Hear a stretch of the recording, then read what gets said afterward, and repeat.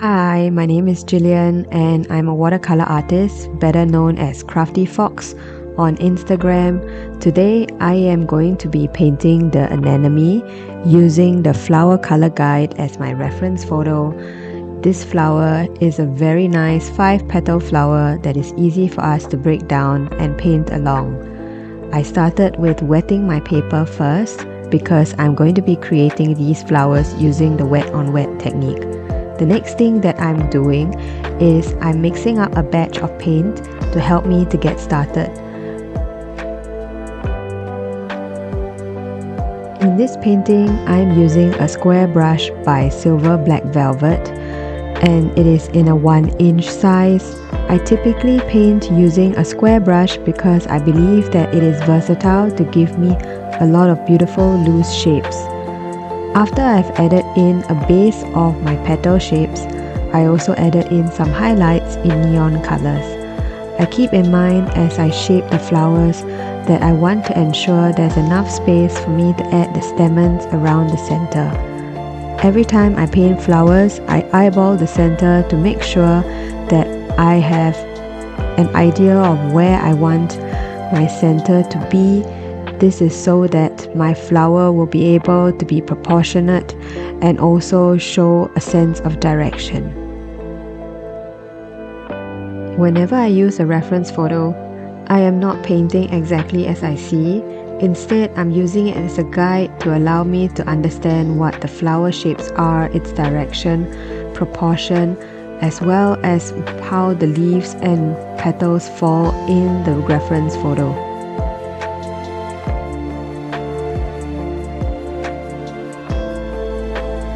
While my paint is still wet, I think that it's a great idea to use the lifting method to lift off parts of the paint if I want to indicate that there are some highlights.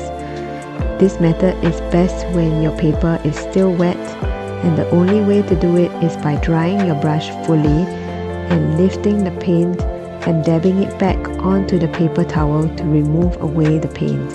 This allows you to create highlights in your painting and in your flower. I've listed down all the materials that I have used in this video down in the description below. Feel free to take a look at what materials I'm using but at the same time I want you to use whatever materials that you have on hand because I believe that while you're creating this together with me or as you're watching the process you too can create beautiful paintings in your own interpretation.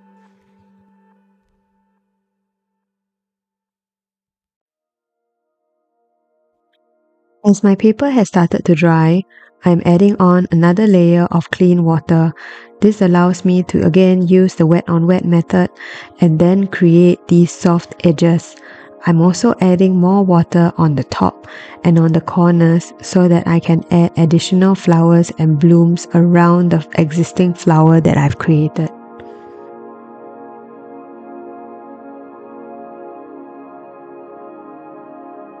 Next, I'm painting a flower that is in the background.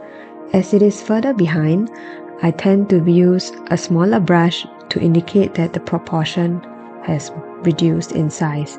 The next thing that you want to consider when you're painting a flower towards the back is that you want to make sure that you're using a color that is cooler in tone. Here, I've mixed some lavender together with blue to give me this purple shade.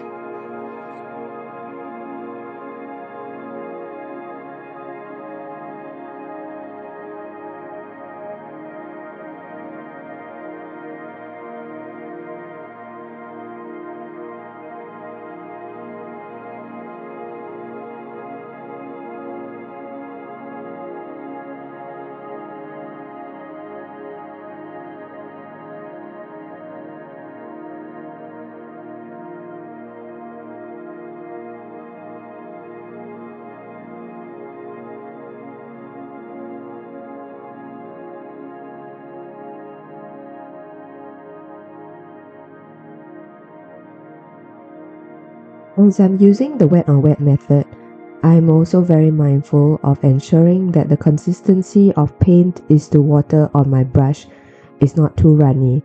This is so that I'm better able to control the paint on my paper and it will not be running and flowing around. I want to make sure that I get the nice soft edges in my painting at the same time that I'm still able to have better control on my paper. The best way to do that is to make sure that the consistency on your paintbrush is pretty thick and is not too runny. This means that you have to take note and eyeball the amount of water that you have on your brush.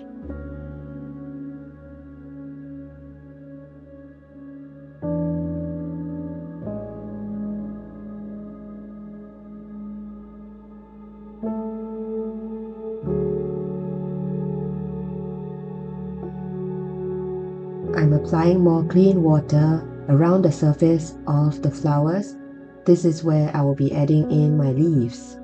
I usually paint from light to dark, so you'd see that I'm going to use a light green color and slowly build on my layers as I move on.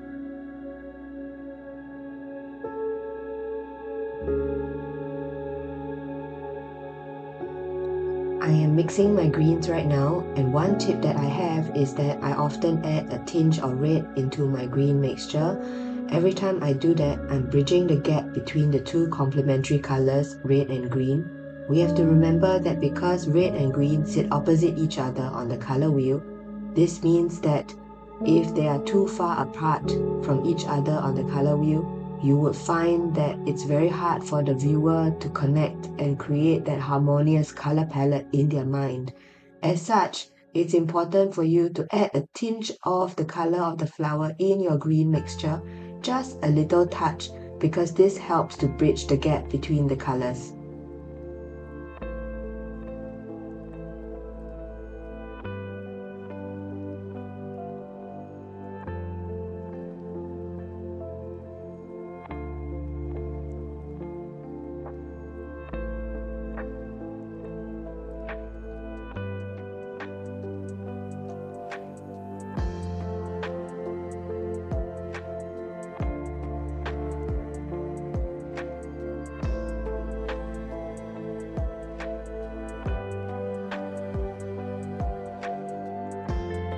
While the paint is still wet, I add some darker values into my paint so that there is a variation in color.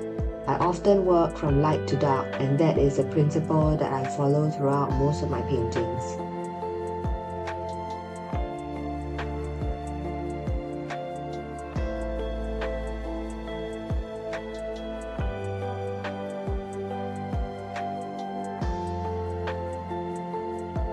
We are just about halfway through the painting and if you are painting along, thank you so much.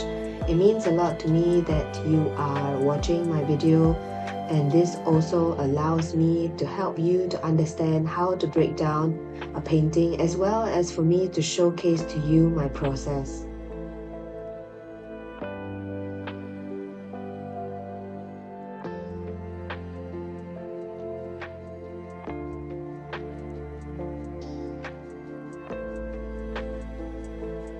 As you're painting and you find that your painting looks different from mine, remember that as you are an artist, your hand and your eye is definitely different. At the same time, we tend to go into comparison and one of the quotes that I want to leave you with that I love is that the flower in nature does not look and wait for the flower next to it to bloom, it just blooms. This is such a great quote because it reminds us that everyone can bloom at their own pace.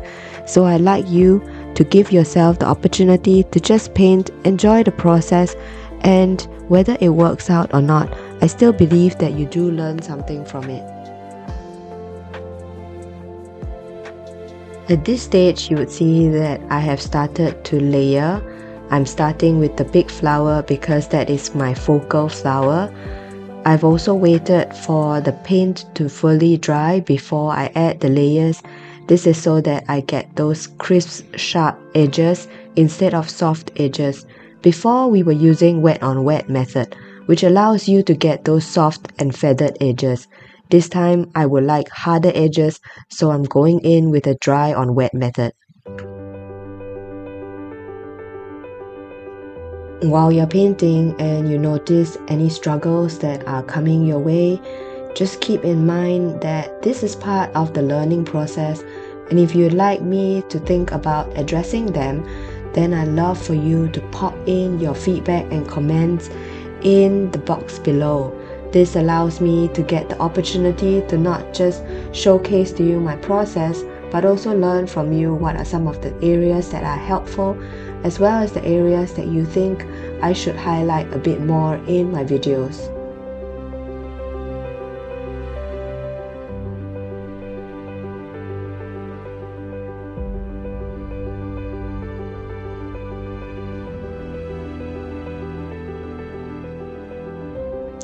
You will notice that I have not mentioned the ratio of paint in terms of color mixing in this video because my belief is that I want you to try out using the colors that you have on your palette on your own. This allows you to get to know the paints on your palette because sometimes following a certain set of formula while it gives you the opportunity to open your eyes to some colors that artists use it also limits your ability to try out the paints that you already have in your palette. So as such, think about the colors that you have and what you can do with them. Don't worry about following the same colors that I have. On the other hand, color mixing is really something that takes a lot of practice and patience. So I hope that you give yourself the grace, the time, and the patience to learn as well as focus on whatever materials that you have in your palette as you are trying this out.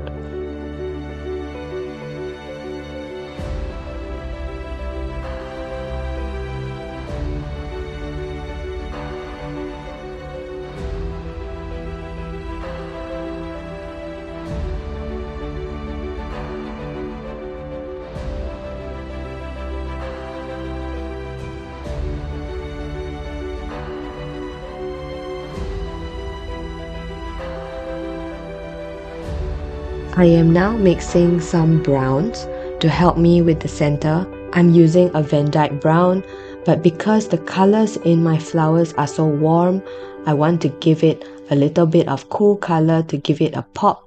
So as such, I'm adding some indigo into my brown mix and putting it down in the center. In this segment, I do not add in so much details. I want it to be really loose because most of the time the light is actually falling on the flower center. So as such, it's very nice for you to think about omitting some details or depending on your style, perhaps that's an area that you really want to focus on and create more details out of it. So think about the composition and the proportion as well as the details that you like to have in your painting when you are creating that focal point. One of the biggest struggles that many artists face when they are painting loose florals is knowing when to stop. Adding details can be very tempting because the more we face our reference photo, the more we start to see details that we could have added into our painting. The important thing in loose floral painting is not about how much detail there is, it's about how much you trust your viewer. Trust your viewer to complete the painting on their own and this is different for every viewer that looks at your art.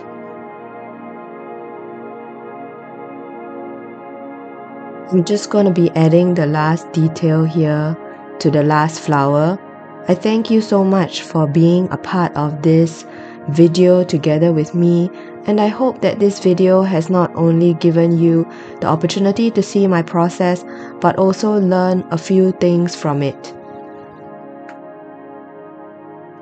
If you liked this video and found that this video was helpful for you, click the subscribe button so that I'll ensure that I'll create more videos like this to help you to not just paint along but also hopefully learn about my process.